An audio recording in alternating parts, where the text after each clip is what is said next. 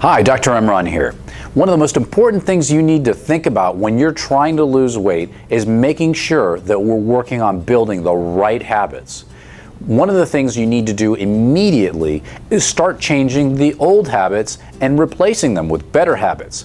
Well, what do we need to do? Well, one of the things that we have to worry about is falling into traps.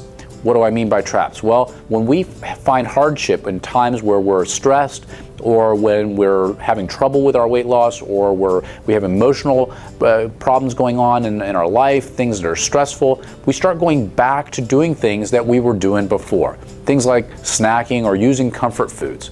So you need to make sure that when we have those situations, we're actually dealing with the problems and not going back to using the foods to try to give us comfort and use the foods to try to solve our problems. Because you and I both know that's not going to happen. No matter how much you eat, it's not going to solve any problems that you have. So the first thing you need to do when you make the commitment you have to make an investment. When you make the commitment to lose weight, you have to put something on the line. You have to make an immediate, drastic change to represent in your mind that you are making a change in your life. The first thing you need to do is get rid of all those temptations that you've got sitting in the pantry. You need to make sure that you clean out your pantry. Now, a lot of people have a stack of things in their pantry that they probably shouldn't eat. A lot of canned foods, a lot of packaged foods, macaroni and pasta. They've also got cookies and chips and other snack foods in there. And all of these things are things that are going to contribute to us falling back into our bad habits.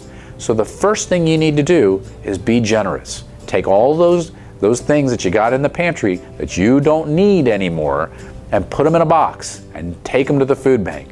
I'm sure somebody can make use of them, but not you.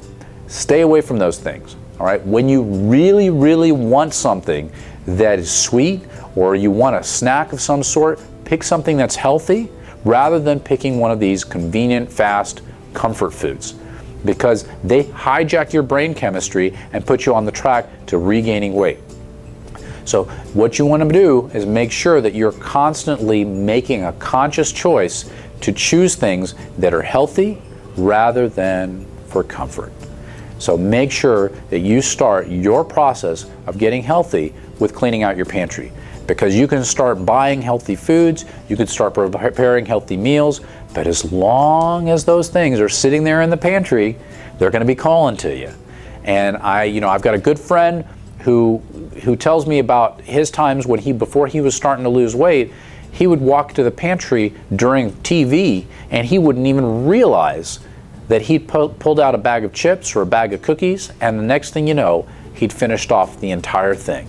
And that's not uncommon that we unconsciously go seek out these snack foods when we're preoccupied with something else and finish off something that we really shouldn't shouldn't be eating at all and then we regret it later on. And that guilt adds to stress, and that stress adds to weight gain, and it's a vicious, ugly cycle. So start out with getting rid of the temptation. It'll be great for your health and great for your family. Hope that helped, and we'll see you at the next video.